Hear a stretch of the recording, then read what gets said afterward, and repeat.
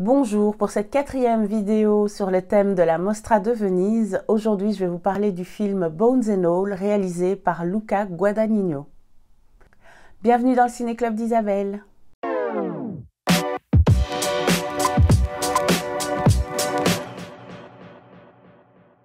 Luca Guadagnino était présent à la Mostra de Venise pour présenter son dernier film Bones and All.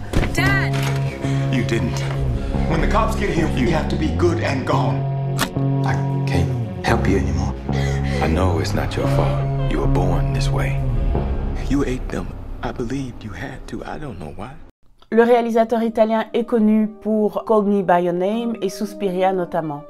Ici, Bones and All est basé sur le livre de Camille De Angelis et le scénario est signé David Kainagi. De quoi parle Bones and All On suit le parcours de Maren, une jeune adolescente durant les années 80, qui malheureusement est contrainte de se séparer de son père parce qu'elle a une particularité, elle aime manger la chair euh, humaine.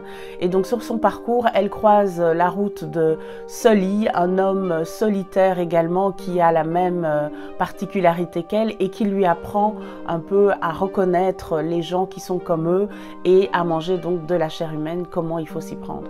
Plus tard sur son chemin, elle croise le parcours de Lee, interprété par Timothée Chalamet, et ensemble ils vont vivre une histoire d'amour. Donc c'est un film qui parle d'une histoire d'amour avant tout, mais sur fond de cannibalisme.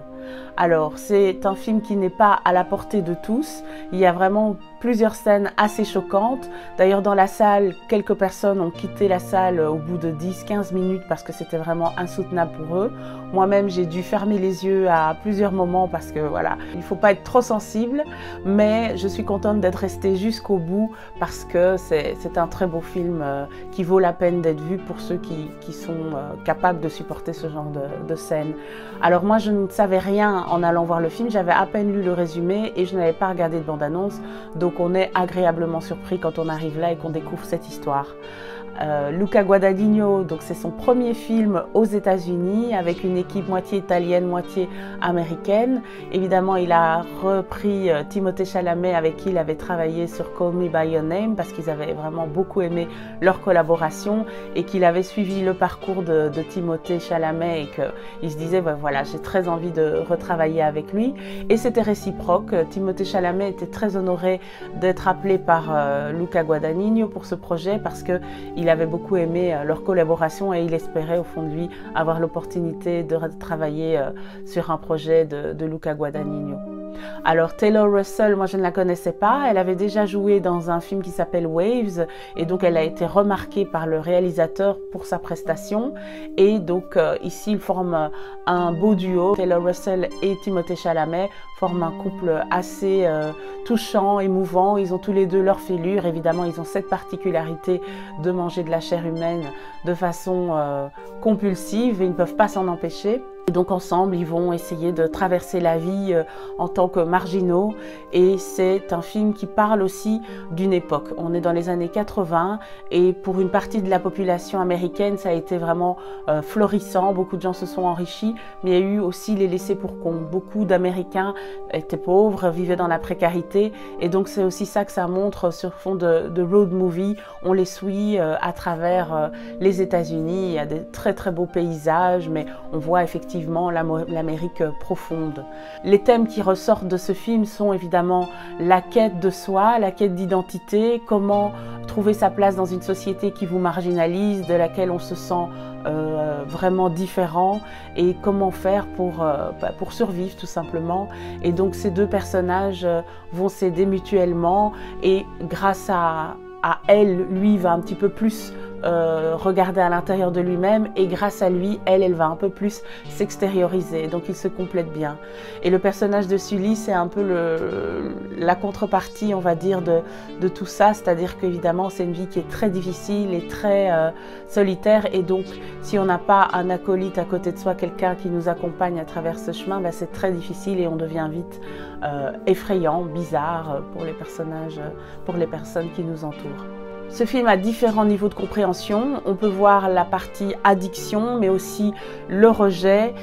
On peut faire aussi une euh, comparaison avec euh, la relation qu'on a avec la nourriture, comme je parlais tout à l'heure de compulsion, la façon dont ils mangent les corps, ça, peut s'apparenter aussi à de la boulimie, à une forme de voilà d'addiction. Et donc c'est intéressant de voir comment parfois même dans le vocabulaire de la vie courante, on a des termes pour euh, décrire quelqu'un qu'on aime bien ou qu'on voilà.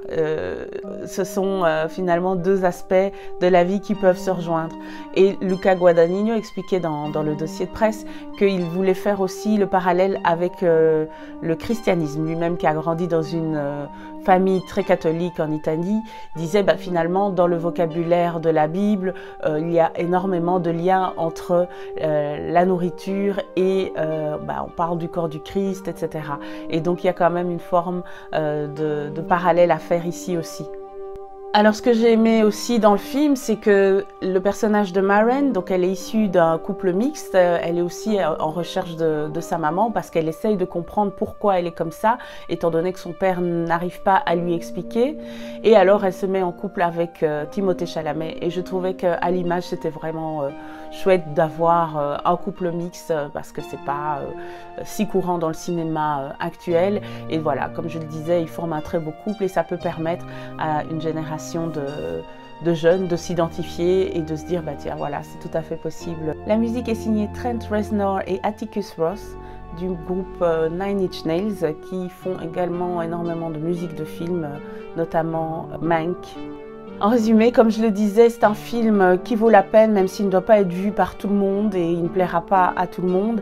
Mais ça reste une très belle histoire d'amour adolescente euh, sur fond de cannibalisme, mais euh, on retient surtout le côté très humaniste et très humain des personnages, malgré euh, qu'ils ont cette particularité. Et c'est ce que Luca Guadagnino a voulu faire en travaillant avec Taylor Russell et Timothée Chalamet, c'est qu'il voulait vraiment arriver à montrer les émotions et faire passer ce message de comment est-ce qu'on se sent quand on est adolescent, qu'on est à part, qu'on cherche son identité, qu'on se sent rejeté et comment tracer sa route malgré tout. C'est tout pour aujourd'hui. Je vous remercie d'avoir suivi cette vidéo. N'hésitez pas à mettre vos commentaires si vous avez déjà vu le film. A priori, il sortira fin novembre dans les salles en Belgique. J'espère que cette série de 4 vidéos sur la Mostra de Venise vous aura plu. Abonnez-vous à la chaîne si ce n'est pas encore fait. Merci en tout cas pour votre soutien. À très bientôt.